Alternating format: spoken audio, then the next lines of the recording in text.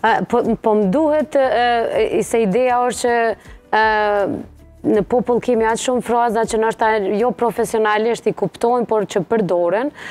Për shembull, ka shumë raste, edhe më duhet me thanë ashtu siç e themi edhe në gjuhën popullore, ka shumë raste kur fëmija prej kur lind, deri në një moshë të caktuar, është nazeli në ushqim, nuk han, e zgjedh ushqimin, edhe i japin ndoshta herë me vullnet, herë pa vullnetin e tij, edhe thuhet shpesh, ia ka rritë zorrën. Po. A ekziston, doktoreshë, a ndikon kjo ushqimi i pavullnetshëm i fëmijeve nazeli, që në një moshë 8, 9, 10, të shëndoshet më shumë? Ndoshta krejt e kemi pasë, Gjithë e kemi pas atë problem me fëmijët. Unë po flas edhe për veti. Po edhe unë po ashtu edhe për fëmijët e mi po flas. Për mu, ushqimi i një fëmije ka qenë shumë ma i vështirë se kryerja e fakultetit të mjekësisë, se kujdestaritë e natës, se ka qenë diçka shumë se ti ki të bësh me një person i cili nuk din me tregue. Po. Po. Edhe unë për veti fëmijën e parë kam pas shumë problem, po. derisa ia mora dorën që po, shtojnë po. po. Mirëpo, lukthi është masë muskulare.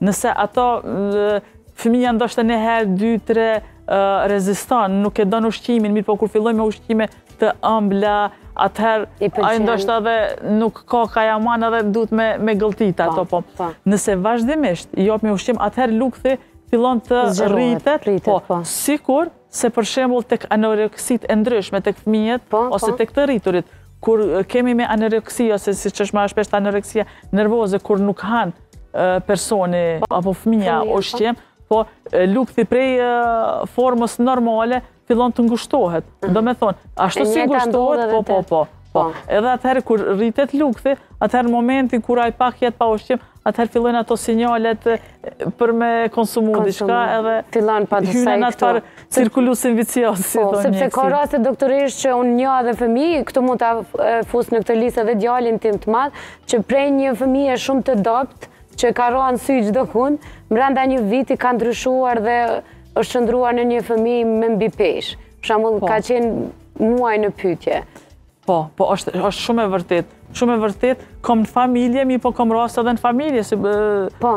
të ngushtë, ku e ki patë fëmijën, qenë ka i dobët dhe mandej, është shumë interesant se të bojnë presion anëtarët tjerë të familjes. Saktë, po. Po, ushqeje, pse, kjo vetëm i dobët, unë një vetë kur kam qenë pushim, Ka qenë edhe kunata ime. Po.